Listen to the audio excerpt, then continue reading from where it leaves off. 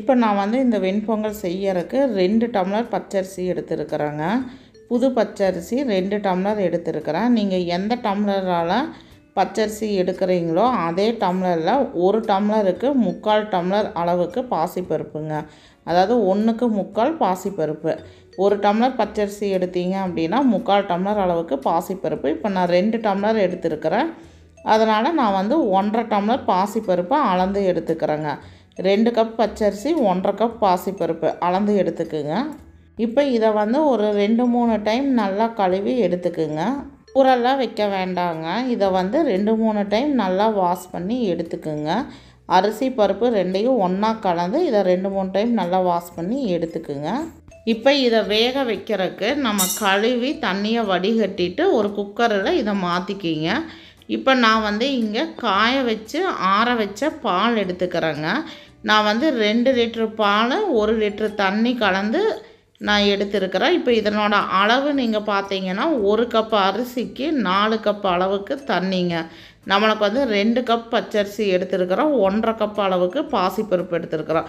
டோட்டலாக மூன்றரை கப் அளவுக்கு எடுத்துருக்கிறோம். இப்போ ஒரு கப்புக்கு நாலு கப் அளவுக்கு தண்ணி பால் ரெண்டும் கலந்து அளந்து ஊற்றிக்கிங்க இப்போ குக்கரை மூடி இதை வந்து ஒரு ஆறு விசில் விடுங்க. ஆறு விசில் விட்டு ஒரு அரை மணி நேரம் இதை அப்படியே விடுங்க. இப்போ டோட்டலாக பதினாலு டம்ளர் தண்ணி பால் ரெண்டு கலந்து விட்டுருக்குதுங்க.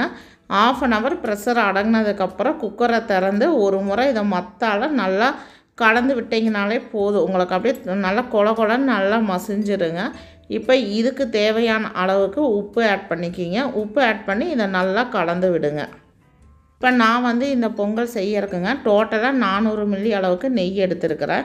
அதில் பாதி நெய்யை நான் வந்து சூடாக்கி இந்த பொங்கலில் ஆட் பண்ணியிருக்கிறேங்க. அடுப்பை லோ ஃப்ளேமில் வச்சு பொங்கல் வந்து நல்லா கலந்து விடுங்க. நெய் வந்து நம்ம விட்டுருக்கிறனால பொங்கல் அடி பிடிக்காதுங்க. அப்பப்போ ஒரு முறை நல்லா கலந்து விடுங்க. இப்போ நம்ம வந்து இதை தாளிக்க ஆரம்பிக்கலாங்க. நான் வந்து இங்கே ஒரு கடாயை ஹீட் பண்ணி நம்ம எடுத்து வச்சுருக்கிற நெய்யிலிருந்து கொஞ்சம் நெய்யை நான் வந்து சூடாக்குறேங்க. நெய் வந்து சூடாகட்டும். இப்போ நெய் சூடானதுமே ரெண்டு டேபிள் ஸ்பூன் அளவுக்கு சீரகம் சேர்த்துறேங்க. அடுப்பை லோ ஃப்ளேமில் வச்சு சீரகத்தை பொரிய விடுங்க. சீரகம் பொரிஞ்சதுமே கூட வந்து ஒரு கால் கைப்பிடி அளவுக்கு குருமிளகு எடுத்துக்குங்க. குருமிளகையும் அடுப்பை லோ ஃப்ளேமில் வச்சு நல்லா படபடன்னு பொரிய விடுங்க. இது கூட நான் வந்து நூற்றி ஐம்பது கிராம் அளவுக்கு முந்திரி பருப்பு எடுத்துருக்குறேங்க. முந்திரி பருப்பை கூட சேர்ந்து நல்லா அடுப்பை லோ ஃப்ளேமில் வச்சு பொன்னிறமாக பொரிய விடுங்க. முந்திரி வந்து பாதி செவந்ததுமே கூட வந்து ரெண்டு கொத்து கருவேப்பிலை ஆட் பண்ணிக்கிங்க. இப்போ முந்திரி வந்து நல்லா ஒரு கோல்டன் ப்ரௌன் நிறம் வர வரைக்கும் இதை நல்லா கலந்து விடுங்க. இந்த பொங்கலுக்கு வந்து மனமே இந்த தாளிப்பு தாங்க. அடுப்பை லோ ஃப்ளேமில் வச்சு நல்லா நிதானமாக இதை வந்து தாளித்து நல்லா நம்ம சூடாக இருக்கிற பொங்கலில் இதில் ஆட் பண்ணுங்க. நம்ம சைடுலாம் அடுப்பை லோ ஃப்ளேமில் வச்சு இந்த பொங்கலை கலந்து விட்டுட்டு இருந்தாங்க. இப்போ அந்த பொங்கலில் நம்ம தாளிச்சிருக்கிற சீரகம் மிளகு முந்திரி கருவேப்பிலையை ஆட் பண்ணிக்கிங்க. மிளகு சீரகம் எல்லாம் வந்து நல்லா பொரிஞ்சு வரணுங்க. அப்போ தான் இந்த பொங்கலில் அதனோட மனம் வந்து ரொம்ப நல்லாயிருக்கும் வீடியோவில் பார்த்தீங்கனாலே தெரியும். இப்போ ஒரு அஞ்சு நிமிஷம் அடுப்பை லோ ஃப்ளேமில் வச்சு இதை நல்லா கலந்து விடுங்க. இப்போ லோ ஃப்ளேமில் வச்சு ஒரு அஞ்சு நிமிஷம் நல்லா கொதிக்க விடுங்க. அஞ்சு நிமிஷம் கழித்து நம்மக்கிட்ட மீதம் இருக்கிற நெய்யை பரவலாக விட்டு ஒரு முறை நல்லா கலந்து விடுங்க. திரும்ப ஒரு அஞ்சுலேருந்து ஏழு நிமிஷம் அடுப்பை லோ ஃப்ளேமில் வச்சு இதை அப்படியே விடுங்க. அப்பப்போ ஒரு முறை கலந்து விடுங்க. பொங்கல் வந்து உங்களுக்கு ரொம்ப தண்ணியாட்டம் இருக்கக்கூடாதுங்க. அதே சமயம் உங்களுக்கு ரொம்ப கெட்டியாகவும் இருக்கக்கூடாது. கொஞ்சம் நீங்கள் தளர்வாக எடுத்தீங்கன்னா இது ஆறுனதுக்கப்புறம் சரியான பதத்தில் இருக்கும்.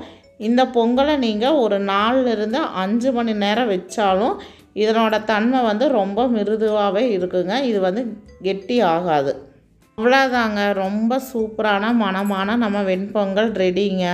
இதை வந்து பால் சேர்த்து செஞ்சுருக்கிறதுனால ரொம்ப ரொம்ப மிருதுவாக ரொம்ப மெது மெதுப்பாக இருக்குங்க இந்த பொங்கல். அதே சமயம் ரொம்ப டேஸ்ட்டாகவும் இருக்குங்க. கண்டிப்பாக இந்த வெண்பொங்கலை ஒரு முறை நீங்கள் இந்த முறையில் செஞ்சு பாருங்கள் இந்த ரெசிபி உங்களுக்கு பிடிச்சிருந்ததுன்னா லைக் பண்ணுங்கள் ஷேர் பண்ணுங்கள் மறக்காமல் நம்ம சேனலை சப்ஸ்கிரைப் பண்ணுங்கள் இதை நீங்கள் செஞ்சு பார்த்துட்டு எப்படி இருந்ததுன்னு உங்கள் ஃபீட்பேக் சொல்லுங்கள் தேங்க்ஸ் ஃபார் வாட்சிங்.